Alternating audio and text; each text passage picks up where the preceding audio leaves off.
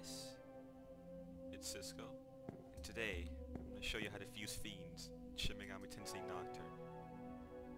Now, what I've seen, well the people are actually confused on how to fuse fiends. I mean, I myself was pretty confused until I figured it out, and it's actually pretty easy.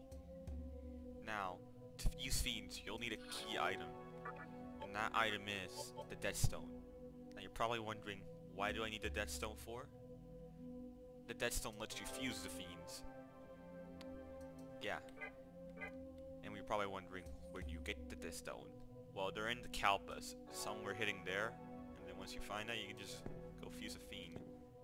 Now, depending on the depending on the moon, like ha it's half right now, so I think I should be able to fuse like I think it was like Hellbiker. It should be. And let's go fuse him.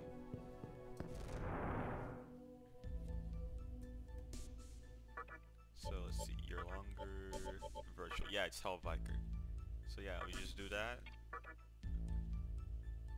Just fuse him. Get Hellbiker. Now keep in mind that once you use the Death Stone, it's gone. So make sure the thing you want is going to be the one you stick with. I mean, you could get more Death Stones, obviously. But you know, you could always fuck up. So yeah, that's pretty much how you fuse fiends in Shin Megami Tensei Nocturne. Now, I'll put the moon cycles for each fiend in the description. So, if you're watching this in 2021 when the Nocturne HD remaster comes out, I hope I helped you. And thanks for watching.